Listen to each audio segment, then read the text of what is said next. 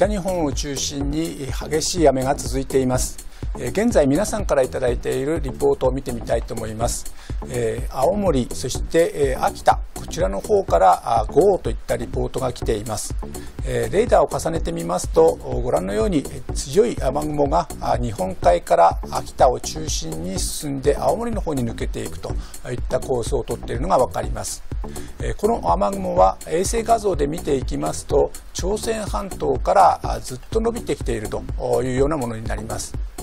この雨雲によって降った雨なんですけども11時40分50分までの状況です。1時間に男鹿半島で28.5ミリ、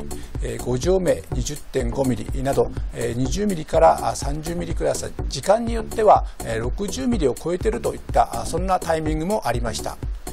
これまで降った雨の積算降水量24時間で見ていきますと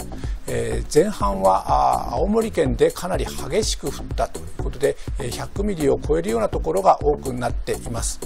この時間になりますと秋田県で雨が強くなってきまして大型で119ミリなど男鹿半島近辺で100ミリを超え始めたといった状況になっています。これからの雨の予想です。え引き続き東北北部に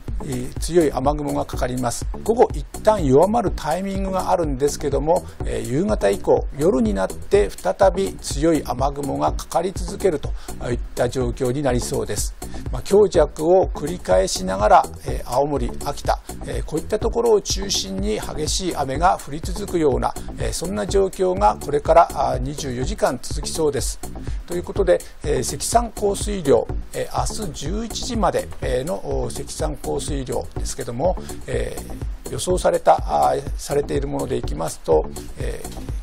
黄色が50ミリ以上オレンジ色が100ミリ以上赤が150ミリから200ミリということになりますがかなり激しい雨がさら続くということになりそうです。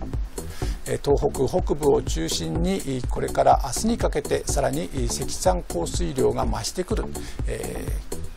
ー、非常にこうね、え、多い雨の量ということになりそうです警戒を怠らずお願いしたいと思います Música